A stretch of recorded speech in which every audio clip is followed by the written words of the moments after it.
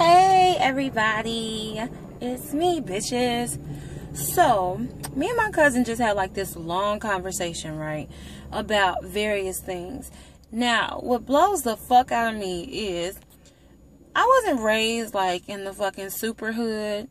You know, it's pretty fucked up where I lived, but it wasn't like, you know, I lived in motherfucking Roseland or motherfucking Englewood or no crazy, you know, crazy super fucking hood shit. Now, what blows me is the fact that hood motherfuckers assume because I'm able to put a sentence together with no grammatical errors that I'm like a fucking uh airhead or I'm naive or some I haven't been exposed to shit. Now that really fucking pisses me off. First of all, I don't think I talk proper. I mean, I sound pretty normal if you ask me. I mean, I fucking curse every other word. I'm ratchet as shit. I mean, I don't really think I sound proper at all. But I guess to someone who perhaps has a GD or fucking went to eighth grade or some shit, maybe I sound like motherfucking, um, I don't fucking know, somebody else to them.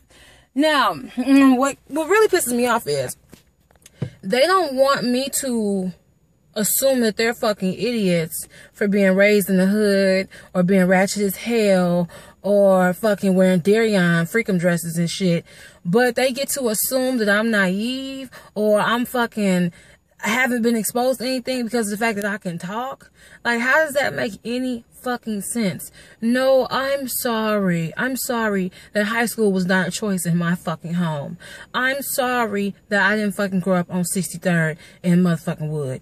I'm sorry that fucking my mom went to college. I'm fucking sorry, but uh, I don't fucking get it. Like, they want something from me.